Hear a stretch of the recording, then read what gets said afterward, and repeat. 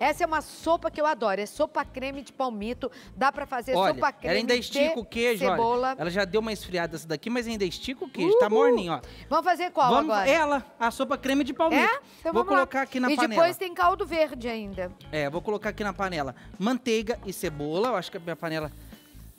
Tá. Isso, manteiga, São duas colheres de sopa de manteiga. cebola. Uma, Vou colocar o alho também. três. Isso mesmo. Gostou da economia de texto? Muito. Um vidro de palmito picado. Posso comprar o já picado, que Você tá um pode, pouco mais você barato? pode comprar já o Eu acho que o picado. povo lá do meu bairro tá meio louco, sabia? Tá, Clau? Eu tô achando que eles não estão batendo bem, Ah. não. Não, o pessoal do cobrando muito comércio... caro? O quê? 25 reais um vidro de palmito, Não, tá é bom pra você?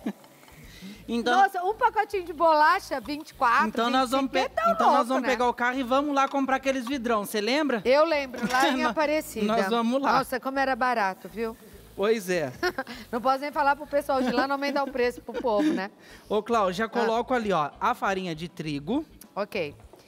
Aí de- você colocou o, a cebola. O alho e a manteiga. fosse um bechamel Isso. inicial. Deixa eu só te explicar uma coisinha aqui do palmito. Aqui eu Tá. tenho um vidro, ó. Só que a metade eu separo e a metade eu deixo aqui com a aguinha dele pra dar aquele sabor na sopa. Eu não Ah, desprezo a água, tá, tá? entendi. Então vem aqui, ó. Já vou juntar a farinha de trigo. Vai dar uma queimadinha, né? Um- bem rapidinho. Uma não, douradinha, né? Não preocupa se ela embolar, se ela fizer pelota, porque nós vamos bater essa sopa, tá? Tá. Ó, é só pra não ficar ca- com aquele gostão de, de farinha de trigo, apesar que a nossa sopa vai ferver bem. Aí eu já vim aqui, já vou Uhum. São juntar. cinco colheres que ele usou da É, farinha. já vou juntar o palmito com a água. Tá. Você ainda não colocou sal e pimenta, Vou né? colocar Eu só agora. vou continuar aqui, tá? Tá bom. Sal e pimenta do reino. Pimenta do reino. Olha, você colocou uma pimenta dedo de moça e ficou boa esse bambam Ficou? aqui. Não ficou tão ardido, não. Um tablete de caldo de legumes. Já vem aqui, por isso que eu coloco um pouquinho sal, tá? Tá. Porque dá sabor também, Dá. né?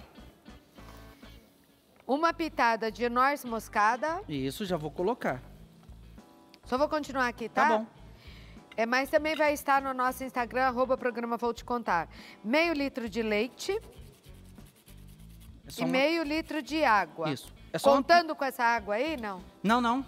Fora? Fora ela. Tá. Já vou colocar, então ó, vai um leite litro água. de água. Um litro de, líquido. Ó, le- água. Meio. E Você põe leite. água quente? Aqui pode ser fria, tá, Cláudio? Tá. Porque aqui não tem nada pra enrijecer. Mas se você quiser pôr quente, eu até poderia ter colocado quente, que eu já tinha uma fervendo aqui. Aí você usa 200 ml de creme de leite. É o de caixinha ou tanto faz? É o de caixinha. Tá. Mas se você tiver uma latinha também, não tem problema. Tira o soro, né? Isso. Não, põe o Parmesão. soro também. Hã? Não tem problema não, Pode pode, pôr? o soro. Parmesão a gosto e salsinha pra enfeitar, finalizar, né? Isso, se você quiser, porque a Tá. sopa de palmito geralmente ela é branquinha. É verdade. Aí, Clau, aqui eu vou deixar ela ferver, Uhum. tá? Deixa eu só acender ali o outro. Aqui nós vamos deixar ela ferver, não precisa ficar mexendo. Se fosse de cebola. Se fosse de cebola, você colocaria quatro, de quatro a cinco cebolas grandes lá no início. Cebola crua, cortada cebola crua, fatiada. rodela, fatiada, é. Um pouquinho mais de manteiga para você fritar bem ela. Tá. E A farinha do mesmo jeito, do mesmo o leite, jeito. a água do mesmo do jeito. mesmo jeito, porque tudo é espessante. O creme de leite. Quantas cebolas que eu vou fazer essa? Cinco? Cinco cebolas cebolas, médias assim. tá. Não precisa ser, se for aquela Eu grandona. vou bater, então eu posso cortar Você de vai qualquer bater, jeito. você pode cortar de qualquer jeito. Tá. Aí se você quiser deixar uns pedacinhos para ficar aqueles vestígios de cebola, você separa um pouquinho igual eu fiz com o palmito, Tá. né? Isso daqui é pra, Para finalizar. finalizar. É. Uhum. Você pode fazer um- uma sopa creme de batatas, coloca aqui três batatas grandes mesmo, picadas em cubinhos. Aí você deixa meia picadinho, o restante você e se for bate. de aspargo, a mesma coisa, Aspargos- tudo igual. E tudo igual. Você pode usar o aspargo em conserva, o aspargo fresco, sempre Essa deixando é um pouquinho. a base de sopa creme, então. Sim. Ó, já Como é tá a engrossando o nosso creme, nós vamos deixar mais um pouquinho. Enquanto isso, vamos começar o nosso caldo Vamos verde? lá, vamos. Aí já a gente caldo finaliza. verde eu acho que é o campeão do inverno, né? Todo É o- mundo gosta. É, gosta. Meu Deus. e agora com essa fama aí, gente, do caldo verde, de que é, ele auxilia a emagrecer, eu não sei se é verdade, mas tá bombando aí na internet. Que além de ajudar no emagrecimento, ajuda na digestão, o caldo verde. Sabia que ele auxilia na desintoxicação do organismo e melhora também o funcionamento intestinal? Então bora lá, vamos fazer caldo verde, vamos comer caldo verde. Isso mesmo, E Cláudia. ele alimenta. À noite, dá para trocar brincando o Vou tirar esse casaco porque agora me deu um calor aqui com essa sopa. Guarda pra mim. Nossa, calor que me deu aqui nessa cozinha É, né? agora, viu? É. E você come e você nem precisa comer outra coisa. Não precisa, você não fica fome. satisfeita, né? Não fica. Clau, aqui, olha, eu coloquei nessa panela azeite e linguiça portuguesa, tá? Que é a Ah. clássica do caldo verde. Mas se você quiser colocar uma A linguiça calabresa boa, ótimo, tá? Uhum. Já vou pôr cebola. Não precisa fritar muito, porque ela não é frita. Você pôs só a linguiça e tá aproveitando o olhinho dela? Eu pus azeite também, pôs coloquei azeite? azeite Tá. também. Cebola e alho. E quanto que você pôs de linguiça aí, Eu Roberto? coloquei é, 200 gramas de linguiça fatiadinha fina. Tá, dá o quê? Um gomo, dois? Um gomo do Um grande, gomo? é. Tá bom. Aí então, eu dou uma vamos lá. refogada. Cinco batatas grandes cozidas. Água para bater as batatas. Daqui a pouco você vai entender tudinho. É muito fácil fazer caldo verde, Facílimo. né? Cinco colheres de sopa de azeite. Que eu já coloquei pra fritar a linguiça. Um gomo, 200 gramas de linguiça portuguesa em fatias finas. Meu caldo verde eu fiz com a calabresa, não pensei nisso. Ora, pois. Não, mas fica bom também. Neguei a raça. Uma cebola bem picada. Quatro dentes de alho Isso. amassadinhos.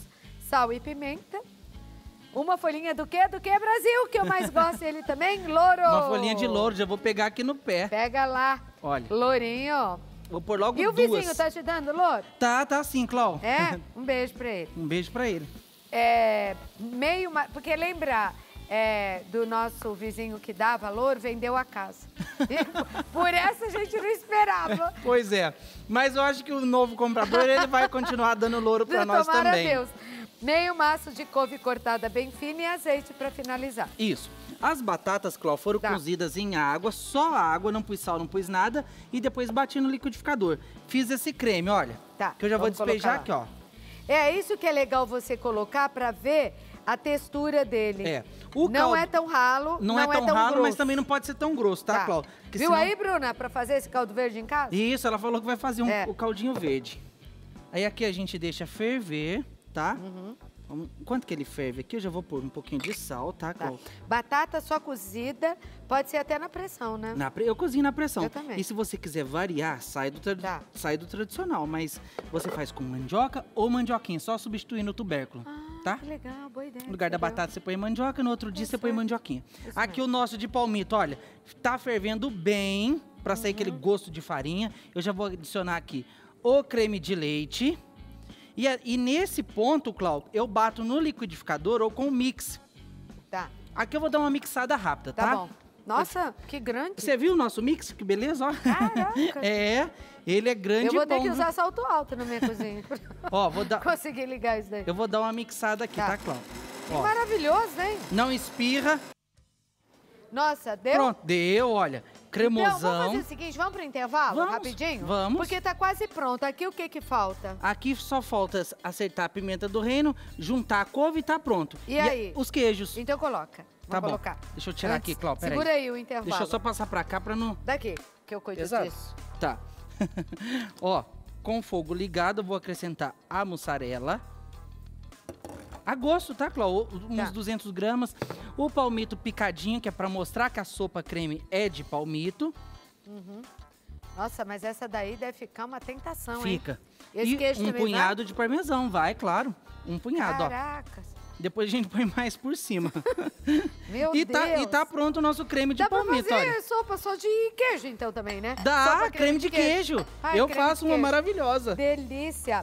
E aqui só falta entrar a couve. Só vou colocar a couve. Aí é E o caldo finalizar- verde. é. Só falta isso. Só. E quanto que a pessoa coloca de couve? Como vai saber? A, go- a gosto. Tá. Você não pode pôr pouco, não, também não pode pôr muito. Tá. Coloca, apaga o fogo, olha, porque já ferveu bem. E acabou. E acabou, nosso caldo verde está pronto. Vou Bom, te servir, Cláudio. Vai lá. Eu quero a de palmito. Vou pôr a de palmito aqui, nesse aqui que eu achei Quanto mais tempo bonito. tem, Gabriel? Dois minutos. Ai, que bom, vai dar tempo de comer Vai, hoje. vai. De palmito. Olha a interesseira, né? Não é porque sempre acaba, nunca dá tempo. Como que é o nome do rei do caldo verde aqui na Rede TV? Silvio. Silvio. Silvio, é verdade? Você faz caldo verde, mas você é de descendência portuguesa ou não? Não, diz que ele faz um caldo verde maravilhoso. Todo mundo já comeu o caldo verde do Silvio, será? É bom mesmo? É, Silvio? De que departamento você é? Automação. Bom, então hoje você vai experimentar. Vem pra cá, te convido, entra aqui. Vem experimentar aqui o caldo verde do Roberto, vem. Vou te dar aqui um caldo verde pra você experimentar. Eu posso pegar o de palmito? O que você quiser, Clau. Eu vou pegar esse e vou dar esse pro Silvio. Diz que ele é o rei do caldo verde, ô, Roberto. É? Diz que faz um caldo verde. Você pôs pãozinho de novo na minha, Eu Roberto? coloquei. Você queria sem pãozinho? É lógico, só o queijo. Ô, então me dá Silvio, aquele ali. É, Deixa eu põe aqui só o o meu. Ó, vou te dar aqui pra você experimentar esse. Pode ficar ali, ó, tá? Obrigado. É. Só pra você experimentar, depois você me diz se tá bom ou não. Deixa eu experimentar aqui o meu. Vai logo, já não vai dar tempo. ver? vai sim, toma. Será? Amanhã o que, que você vai fazer? Amanhã tem uma maminha maravilhosa, tá? Olha aí, pô, Uhum. Não põe pãozinho. pão, não põe pão. Ah, É uma maminha, Clau, amanhã. Come e esse. acompanhamento. tá, esse pra você. Tá, obrigado. Ai, meu Deus.